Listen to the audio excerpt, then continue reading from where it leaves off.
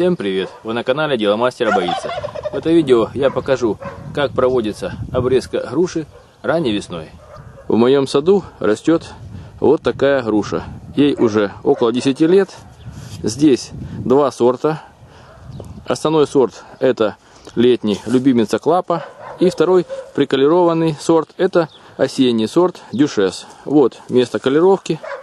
То есть основная часть дерева идет дюшес, а маленькая часть это любимица клапа, которая плодоносит летом. Обрезать дерево груши необходимо ранней весной, до наступления сокодвижения.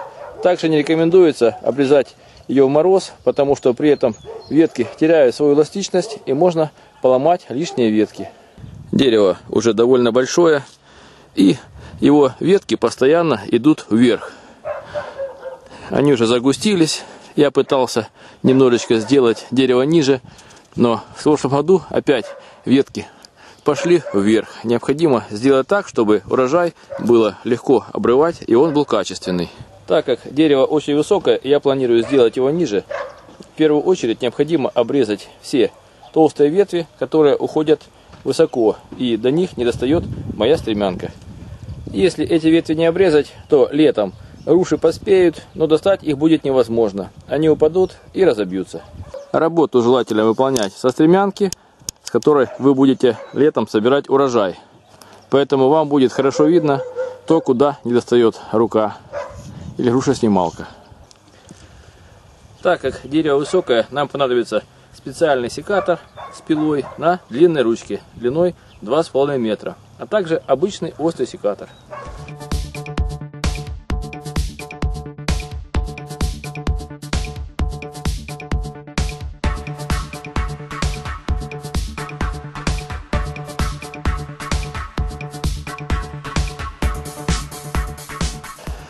При уменьшении высоты дерева в первую очередь необходимо обрезать ветки, которые растут вертикально вверх.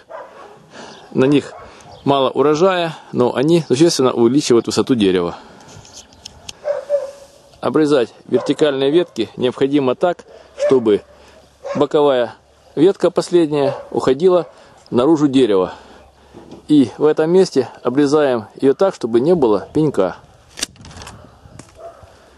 Теперь дерево будет расти в сторону, но никак не вверх.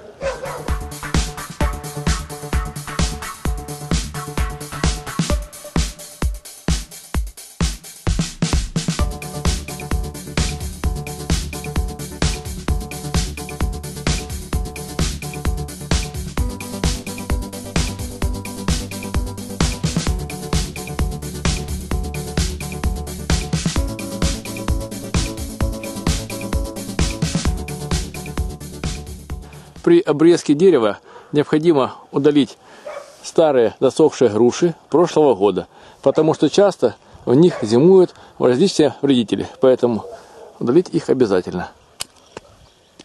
Также при обрезке дерева необходимо удалить нижние ветки, которые смотрят вертикально вниз, потому что их освещение летом будет плохое и урожай будет минимальный.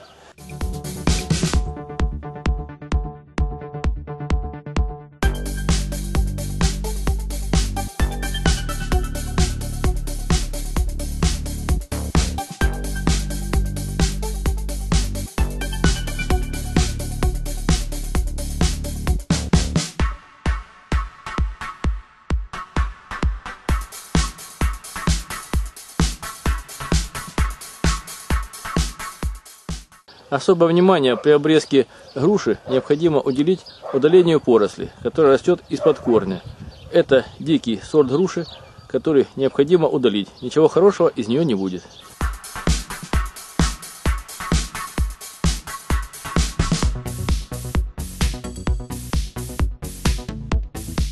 После этого необходимо обрезать ветки, которые растут внутрь кроны. Они ухудшают освещенность кроны и уменьшают урожай.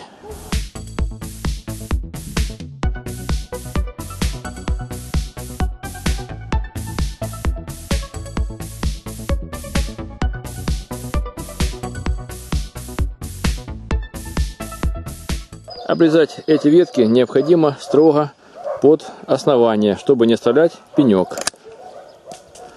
Такой пенек быстрее заживет, и даже не нужно будет мазать его садовым варом. Также необходимо обрезать ветви, которые загущают крону. Вот видно, что эта ветка растет внутрь и загущает общую крону. Необходимо ее удалить.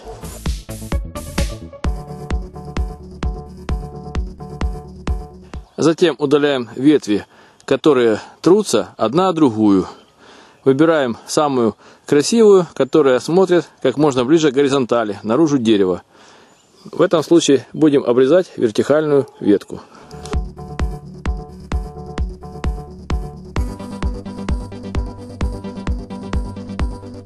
Обрезаем ветку так, чтобы оставшаяся ее часть смотрела наружу и не терлась о другие ветви. Формируем крону дерева так, чтобы ветви смотрели в стороны как можно горизонтальнее, а не вверх.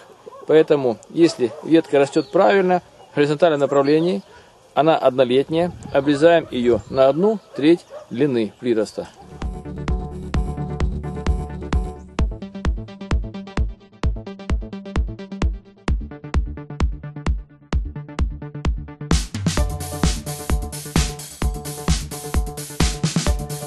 На одной из веток я обнаружил такой интересный кокон. Похоже, что здесь зимует вредитель. Я не знаю, как он называется. Посмотрим в интернете. Разрежем и посмотрим, что внутри. Кокон твердый. Имеет такую интересную чешуистую форму. Содержимое желтого цвета маслянистая. Вот видны непонятные чешуйки внутри. Содержимое маслянистое. Похоже на какого-то вредителя. Может быть листовертка. Если вы знаете, напишите в комментариях. Также при обрезке дерева не забывайте удалить отменьшие ветки. Они отличаются своей хрупкостью, сухостью. Если их оставить, в них будут развиваться всевозможные вредители. Обрезаем их тоже так, чтобы не было пеньков в основании.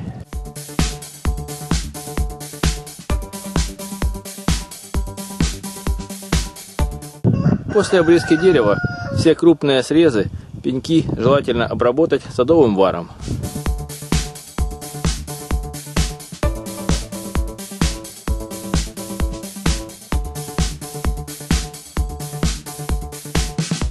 Теперь в этот срез не попадет инфекция и будет заживать он намного быстрее, чем без обработки. Вот обрезка дерева закончена. Как видите, основное усилие при обрезке делается на то, чтобы сделать дерево раскидистым, и оно меньше шло вверх, а также удаление загущения и поврежденных веток. Теперь крона дерева стала намного светлее, будет лучше ее освещенность, не будет пересекающихся веток, и урожай должен быть больше. Вы были на канале Дело Мастера Боится, смотрели видео о том, как проводится обрезка груши весной. Пишите свои замечания и комментарии, ставьте лайки, подписывайтесь на наш канал. Будьте с нами. Всем пока!